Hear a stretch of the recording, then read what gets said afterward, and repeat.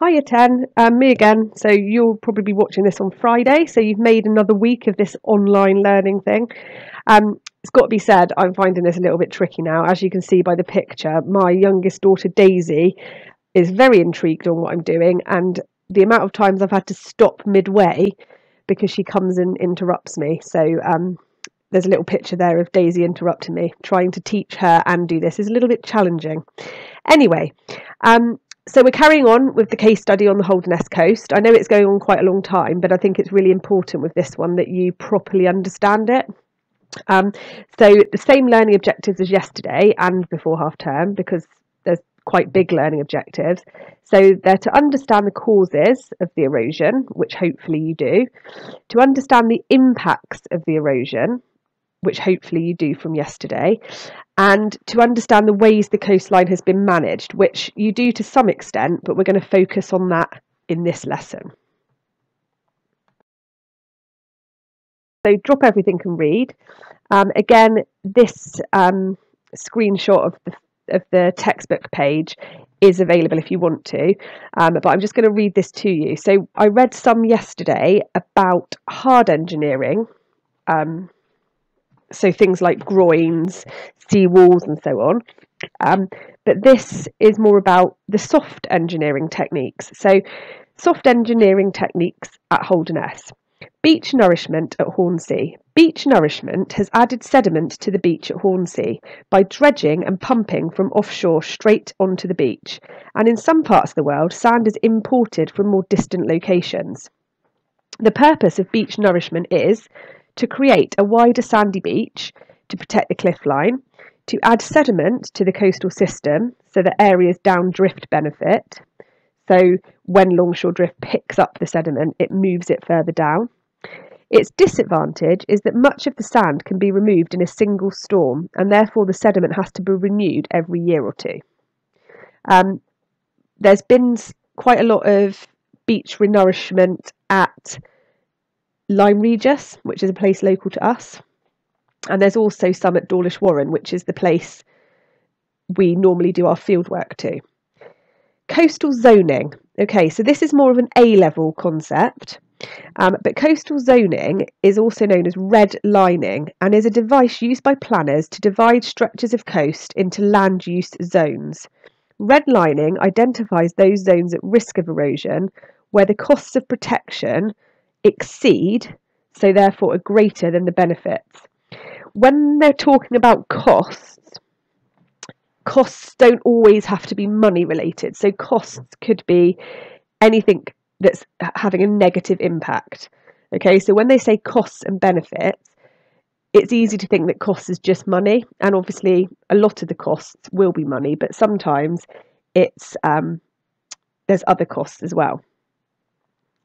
Um, decisions are made not to protect the area, and planning permission is refused for anything inside these zones.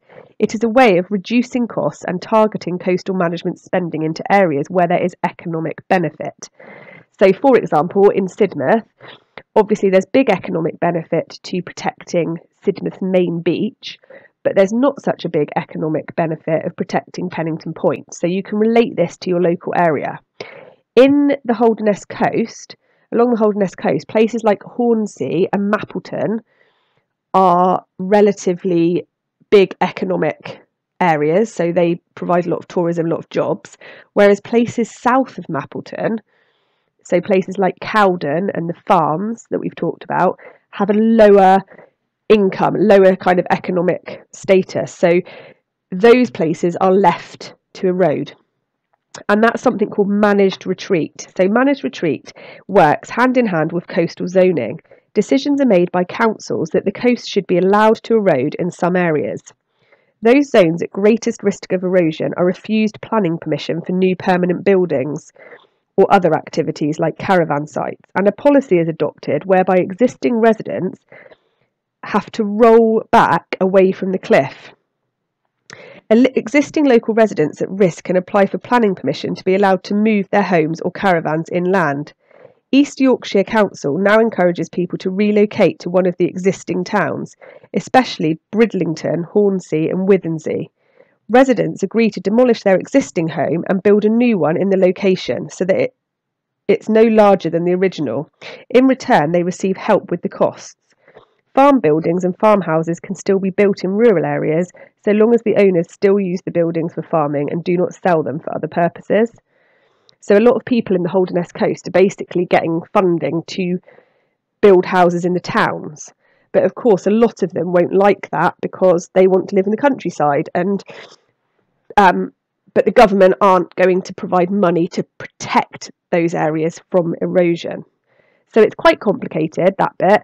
Um, if you don't understand all of that, don't worry because that's really high level. But basically, those are like soft engineering um, or managed retreat, which are basically different techniques for coastal management. Okay, as promised, um, this is the answers to the task that you did yesterday, the peeing technique. So these are the answers. So you've um, got the points on the first column, the explanations in the, in the second column, and the evidence or example in the third column. So, for example, exposed cliffs are eroding at a faster rate than anywhere in Europe. That's your point. This is because the boulder clay cliffs are less resistant to erosion and are undercut by waves at high tide. The cliffs then slip and slide and material is carried away by longshore drift. That's your explanation. The average rate is 1 to 10 metres a year, but in some areas 20 metres have been lost. That's your evidence, which is numerical. So I'm not going to read through the whole thing, um, but you might want to screenshot it or something um, to check your answers. So I'll just leave that on the screen for a couple of seconds before I move on.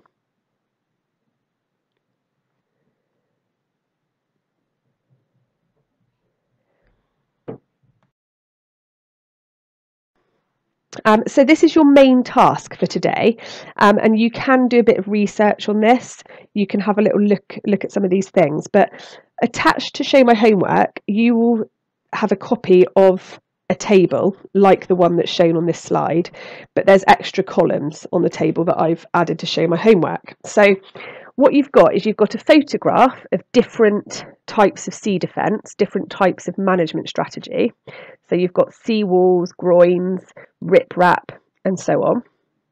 It tells you a little bit about them in the second column.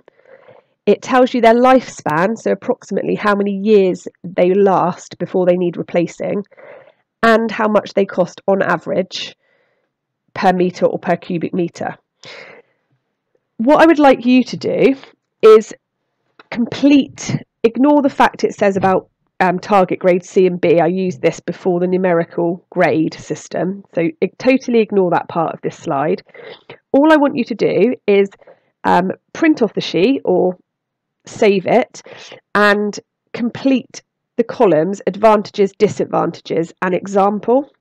So I want you to really think about what are the advantages or the benefits of that particular sea defence. So, for example, the seawall, one advantage or one benefit would be that it's got a long lifespan of 100 years. So, once it's built, it lasts for ages and, and it's really effective at stopping the sea from reaching the cliff. But a disadvantage or a cost might be that they look unattractive and some local residents wouldn't like the appearance, so they ruin the natural landscape. Also, they're very expensive, so they're one of the most expensive forms of coastal management. So, what I want you to do is do that kind of process for each of those sea defences. And you could do a bit of research on that if you want to. So, BBC Bitesize is quite good for that.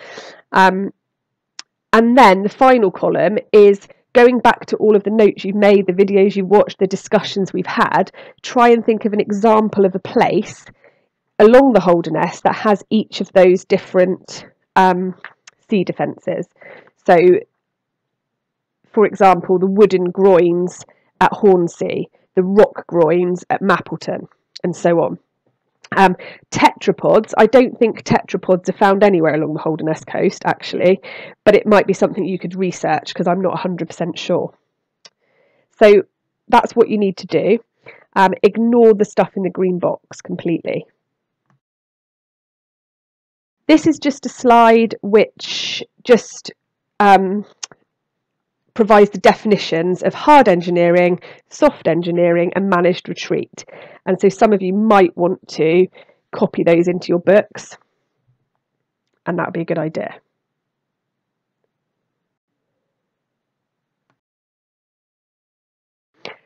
This is not for you to do today, okay? This is what you're going to do in your next two geography lessons. So, some of you I know might get into this and want to do it. Um, and if you did do that, then next week's lessons, obviously, you wouldn't have to do as much. But basically, I want to make sure all of you have got a really, really good case study written up on the Holderness coast. Um, and a lot of you will have done some of this already. So, in, a, in the case study, there needs to be a clear description of where the Holderness coast is located. So you might want to draw my little triangle um, sketch of the UK and then pinpoint where it is. You might want to draw the close up map or stick it in. And I know a lot of you have already done that. So you don't need to do it again.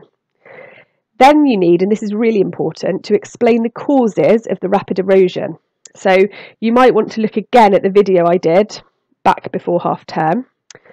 Um, and some of you would have completed a sheet about the causes, which I've reattached this lesson. So again, um, some of you might have done this already, and I know a lot of you have. Some of you might want to print it. I've noticed a typo there. It says for shoes that struggle. It should say for those that struggle more with writing long paragraphs. So there is a sheet available if you want to. Um, the next section is to describe the effects of rapid erosion, and lots of you will have done this yesterday if you did the Venn diagram, um, the colour coded sheet of the effects, or the spider diagram or table. And then the last section is the responses. So explain the different management techniques used along the Holderness coast. So I would maybe complete this as a large A3 table. If I was doing this, I'd probably do it across a whole double page, but some of you might want to print the table um, and just fill it in on the sheet. Some of you might want to print the table, cut bits out, and make it into a big page in your book with the advantages and disadvantages. Okay, so I'm going to set aside our lessons for next week for you to write up this case study and make it a really, really good case study. Um, but I will still set the lessons individually and give you some websites for research as well for those of you that get this done. Massive well done. You're doing brilliantly, Year 10. See you soon.